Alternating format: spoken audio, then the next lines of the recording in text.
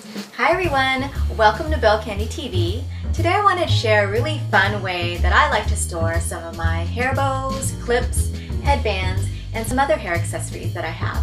So if you'd like to see how I do it, keep watching.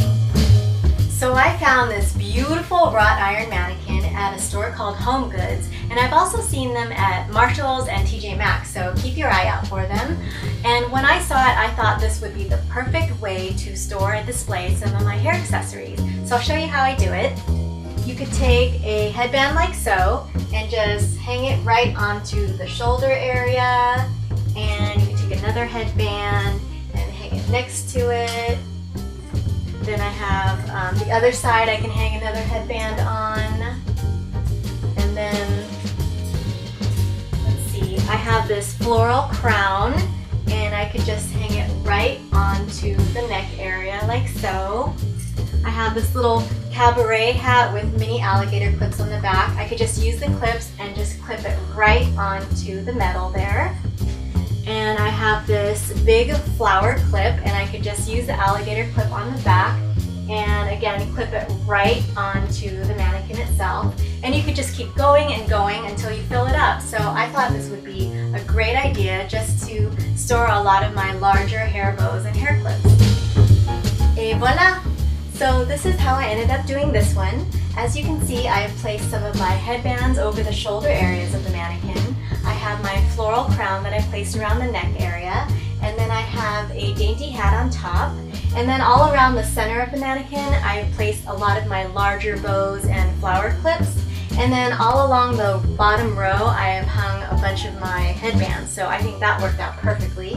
I know it looks a little crazy, but I think it makes a great decorative piece for your bedroom or your vanity area.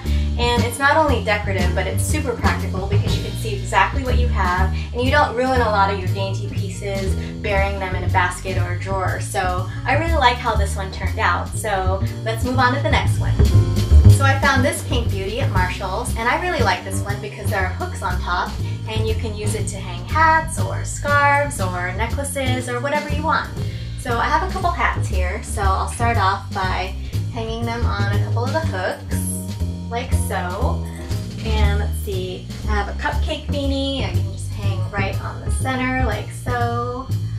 And let's see, I have a couple more flower clips. I could just, again, clip right onto the mannequin. And got another hair bow here. I can just place it right onto the mannequin there. And I'll just keep going and going until I fill this one up.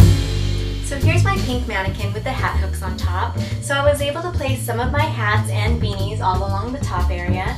And then I have more medium to large bows and floral clips all around the front of the mannequin. And of course you can spread things out and use the back side too. I just haven't done that yet. And on this mannequin in particular, there's a lot of decorative filigree hooks so I was able to hang things like this cute little wristlet purse here, and then I have a little hair fascinator hanging over there, bracelets, and I even put my little cupcake headband on this shoulder. So I really think this one turned out cute, and I definitely have room on the back to expand my collection. So I found this gorgeous piece at Michael's craft store. It could totally be used as a decorative piece on its own. It's in the shape of a woman's dress and it's got crystals adorning the whole thing and it's just gorgeous. But I decided to use it for my smaller hair clips. So I have a couple here that I can go ahead and place onto it. Let's see, I have a little starfish here. I'm just gonna go ahead and clip right onto it there. And then I have a little bow here. I can clip onto it there. And I could just keep going and going until this one's filled up and it's gonna look great when it's done. So this is how this little one turned out and as you can see I've hung a lot of my smaller bows and hair clips all over it and what I really love about this one is that when you're done you could just use this hook on top and hang it right onto your wall. Look how pretty that is. I love it. So for my small hair clips I decided to use one of these French memo boards. Remember these? People use them to put notes and pictures on. Well, these are actually really hard to find now, but I found a bunch on Amazon and on eBay as well, in all different kinds of patterns. So I have a couple small hair clips here that I'll go ahead and start clipping right onto the cross hatching. And as you can see, it's super easy to do. and you can find all different patterns and fabrics. So I really, really like that. It's just super convenient and I'm gonna go ahead and fill this one up.